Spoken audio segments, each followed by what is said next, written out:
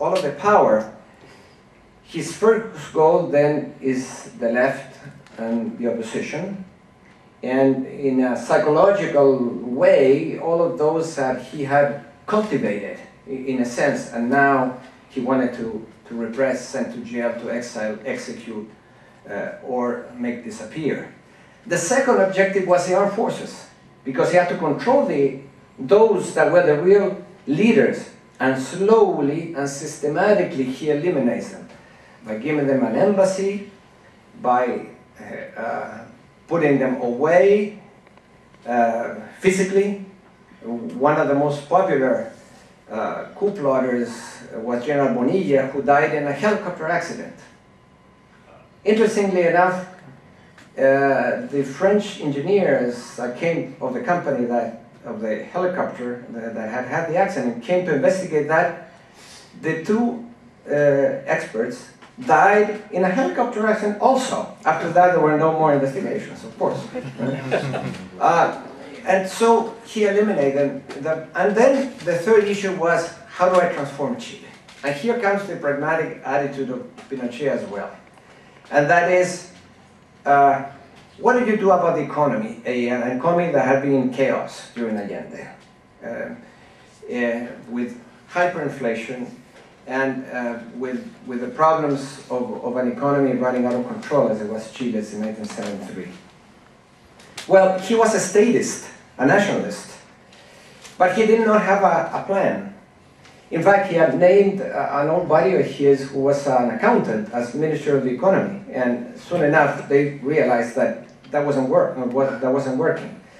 So this uh, group of young technocrats who studied at the University of Chicago um, and supported by the head of the Navy, who was, in my view, the real, uh, the, the real coup um, responsible, the person responsible of, uh, behind the coup, the, the head of the Navy, uh, supports these young technocrats, so-called the Chicago boys, and Pinochet does not have any alternative but to accept a plan because he doesn't have a plan.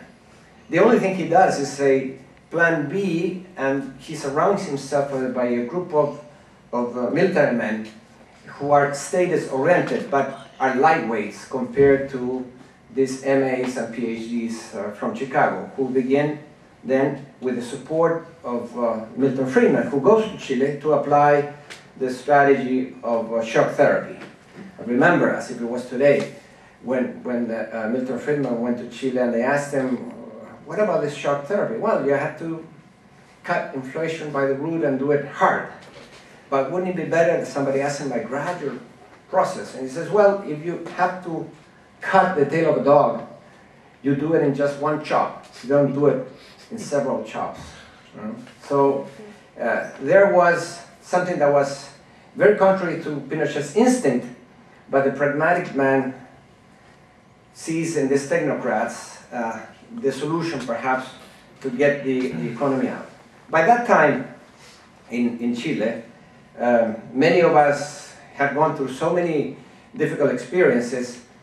Um, uh, I had been almost arrested in, in an episode that uh, I narrate in a book and that was uh, very interestingly um, discussed in, in New York City on, on a dinner that we had at uh, Barbara Walters' house. She, she made a, a dinner in my honor.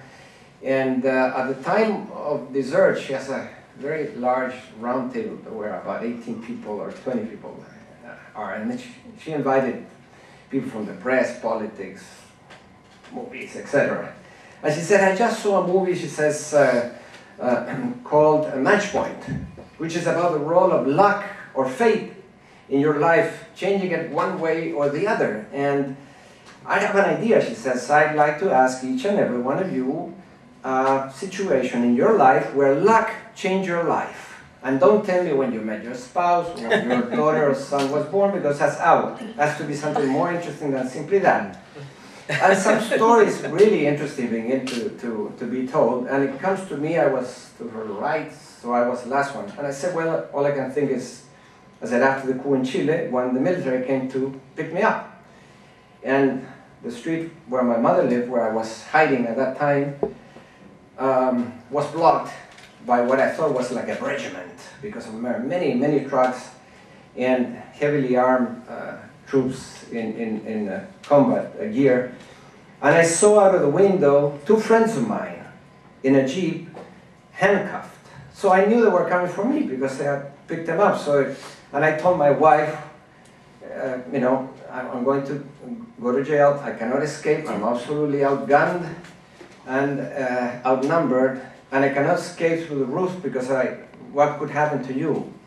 So, uh, you know, I put on my jacket and waited there. And uh, she paced up and down with her American passport and said, well, we have to do something. And I said, call Ted Kennedy. And that was the only thing that came up to my mind and find out whether they're going to take me. And uh, a lot of movement outside, 10 minutes that seemed an eternity, and all of a sudden they all leave. And I was truly puzzled. I thought, what the heck happened here? And about two or three minutes later, very a soft, a very soft knock on the door, and it was our neighbor, Doña Alicia, who had known me grown since I was a kid. And she says, they were coming for you. They asked me where you live. They came to my house and not to yours. And I didn't tell them that you live next door. They had gone to the wrong door. Mm. They had gone to the wrong door, and this woman who had seen me grow uh, did not give me up. Um, so when I told this in the Barbara Walters uh, dinner, she raised her hands and she said, "You won, you won, you won, okay? you won." And the story uh, was quite uh, had a, a, a, very complicated element from an emotional standpoint because those two people that were there, I, I, I saw one of them uh, about five years later in Mexico. He was uh, uh, an exile. And, and uh, when he saw me, well, we embraced, he cried, and he said, you know, he said that the only good thing in all those bad moments when we were arrested was when they went, went to pick you up, and you were on the top of the list.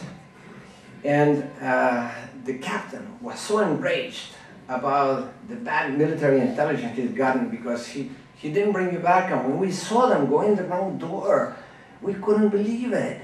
And it was the only happy moment that we had in that awful period. And because they, they spent many, many months at the National Stadium, they were tortured, mock executions, and that would have been what happened to me. So, at that moment uh, uh, um, in my life, uh, I, I, uh, I thought that I should follow, finally, my wife's advice and, and leave Chile as, as we did, and we went to to Denver. I should have come to Wisconsin because, frankly, Madison is an impressive place, and even though I like the mountains, uh, living near the water is much nicer. Uh, but nevertheless, uh, at least I, I, had another perspective, even though it was a forced experience uh, living out, out in, in Chile, uh, out of Chile. Um, I did my PhD, I became leader of the Socialist Party outside Chile in the network that we, that we had.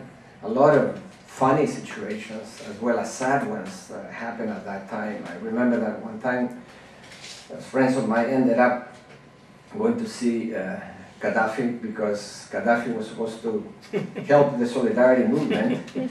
And uh, after about three days of a conference and all that comes the big interview with Gaddafi.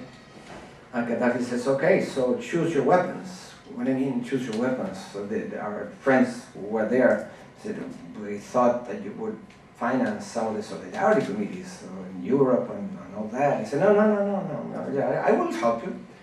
But what do you want? Uh, you want RPGs, you want bazookas, you want... Uh, so his help was choose your weapons, and uh, they came out uh, empty-handed, and some Chileans uh, went to Libya to this meeting with Gaddafi and they took wine as present, which was thrown in the airport, uh, you know, and smashed into the walls. That, I mean, th there were some aspects of our experience that was uh, uh comic uh, and, and, sad at the same time.